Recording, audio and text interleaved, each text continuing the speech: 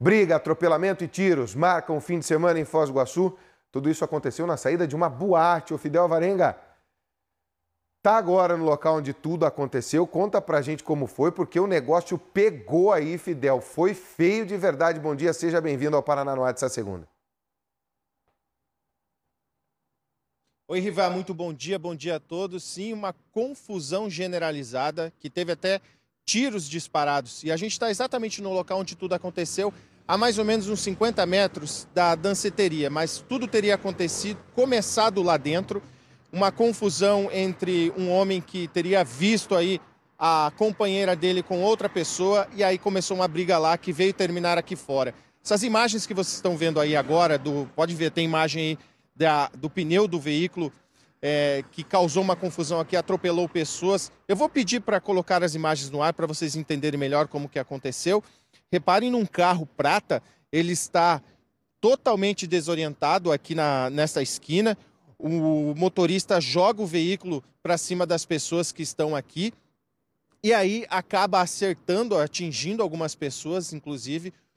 Outras envolvidas tentam parar o motorista. De repente, no final do vídeo, aparecem dois homens armados e atiram contra este carro até que o motorista pega e vai embora. Um segundo vídeo mostra o possível dono do carro mostrando o veículo dele atingido aí pelos tiros, bastante danificado. A polícia, Riva, ainda não se pronunciou oficialmente sobre este caso. Se vocês repararem bem em um dos vídeos, mostra um homem caído é, do lado do, do, do, da calçada aqui na rua. É, também não tem informações que ele teria sido atendido pelo Corpo de Bombeiros por algum socorrista. Mas uma confusão generalizada aí que agora cabe à Polícia Civil identificar o caso, Riva. Olha aí, ó. Nós estamos ouvindo agora e vendo as imagens, Fidel, ele jogando o veículo contra as pessoas cantando pneu, ó. Você vai ver agora na imagem, ó. Vão aparecer, ó. Chega um ali, dá uma voadora no carro para tentar quebrar o vidro. Agora vão aparecer dois homens aqui na imagem correndo, ó. Presta atenção aqui no canto do vídeo. Eles aparecem correndo, mais uma vez ele tenta atropelar aqui, ó. Esses dois aqui, ó, vão aparecer correndo agora. Um deles já põe a mão do lado da cintura ali, ó. Percebeu? E aí os tiros vão ser disparados. Atenção, é agora, ó. Dois, três, quatro, cinco, seis, sete. Sete tiros disparados. E um deles correndo com a posição de tiro, você reparou bem? Você reparou nessa imagem? E atiraram nos pneus. Se quisessem atirar para matar esse homem, matavam, atiraram do lado. É. Me pergunto até se não são pessoas que são envolvidas com segurança pública que atiraram nesse homem. Deu bala em nós.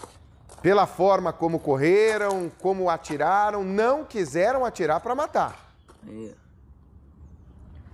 Não quiseram, foi bem em frente aí de onde está o Fidel Varenga neste momento, onde ficaram todas as marcas. Volta no começo da imagem ali da confusão, que o bicho pegou de verdade. Olha lá o carro sendo usado como uma arma nesse momento, ó.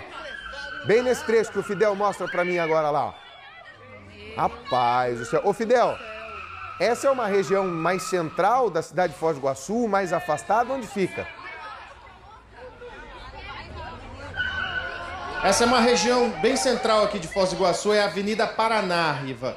Nós estamos aqui a mais ou menos um quilômetro da região bem central mesmo da cidade e é muito frequentada essa avenida aqui porque existem várias danceterias, muitas casas de shows aqui nesta avenida. Então, no fim de semana é uma avenida muito movimentada. E foi exatamente aqui onde tudo aconteceu essa confusão. Agora, o que a gente espera aí é uma resposta da polícia para saber exatamente qual foi o motivo de toda essa confusão e também tentar descobrir quem foi os atiradores, desvendar toda essa história, né, Riva? Eu não sei se a gente mostrou para vocês, ainda tem marcas aqui no chão, olha só. Vou pedir para o Cleito, para a gente cruzar a rua também. Essa aqui é a marca dos pneus do carro.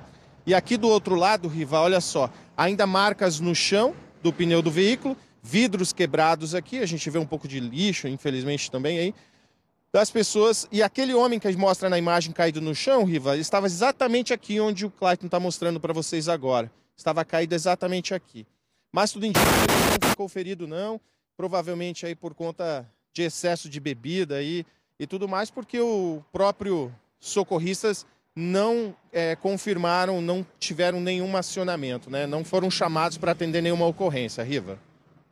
Que confusão, hein? Eu, eu, eu, fico ainda com o jeito que correram ali as pessoas que deram tiros. Você vê que parece que ele pega a arma aqui na lateral, olha lá. Ó. Ele corre, parece tirar a arma da lateral, percebeu? Ó? Já pegou, os dois ali já estão armados e os tiros vão ser disparados ali naquela hora. Estranho, estranho, estranho tá com cara de ser gente da segurança pública. Não quero aqui falar policial, mas está com cara pela forma como é. correram. Até para tentar evitar o que aconteceu. Né? Para tentar dispersar a pessoa que estava por ali, né, Fidel?